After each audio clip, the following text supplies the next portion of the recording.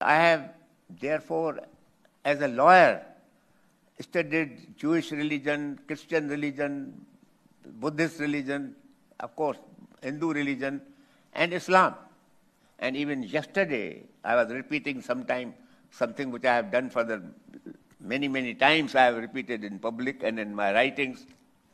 And yesterday I told the judges of the Supreme Court that you don't know that I am a great admirer of the Prophet of Islam because I am a student of the Quran Sharif.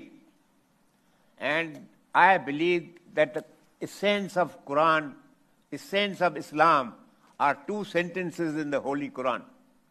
The two sentences are sentence number one, that when you walk in search of knowledge, you walk in the path of God.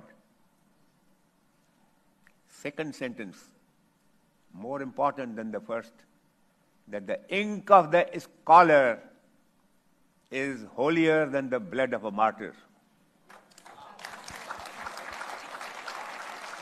And, and I believe that the Prophet of Islam was one of the greatest prophets. When the Muslims followed the teaching of their Prophet, they became the masters of the whole civilized world. They conquered Spain. As far as Spain, Europe was conquered by them. And I always give the illustration of a Muslim scholar in those days who was very famous. And he was invited by the Khalifa to go and live in his palace. He told him that, why don't you come to my palace and live there and pursue your philosophic studies and so on. That fellow politely refused. So finally, when the Khalifa insisted on knowing the reason of his refusal, he said, Sir, if I shift my residence to your palace, I first require 400 camels to transport my library. That was Islam at its highest.